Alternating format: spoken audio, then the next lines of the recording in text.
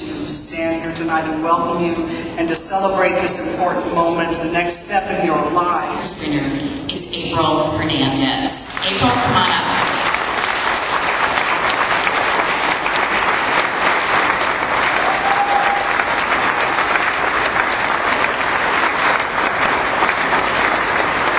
the Ryman Arts class of 2010.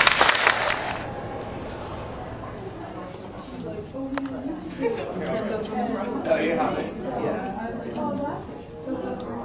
Did, did you know Maria Stefano?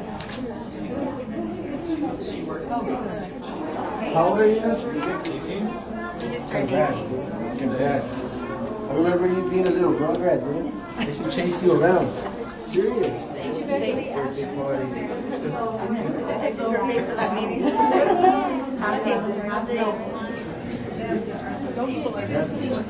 Ani, what would you say Ryman did for you? What was so special about Ryman? I think Ryman made me realize my actual skills and it made me improve my skills. And that it gave me confidence, more confidence in my own work than I did I had to.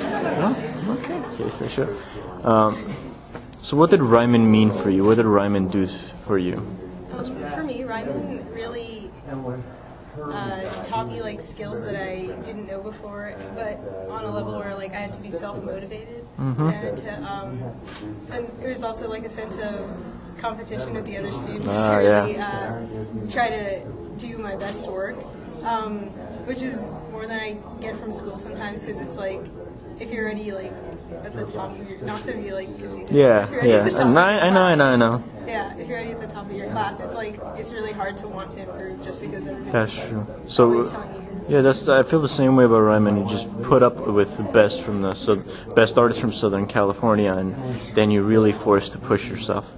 Okay, great job. I have fun. You had fun. Impo- most importantly, alongside. I thought it. The teachers really helped you find your artistic self.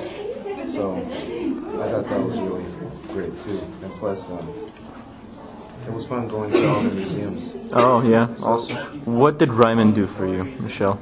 Ryman helped me grow immensely. Um, it took me from my what I thought was good, and it took it to something that is truly great. And I owe so much of what I do now and the growth that I've gained to Ryman. All right.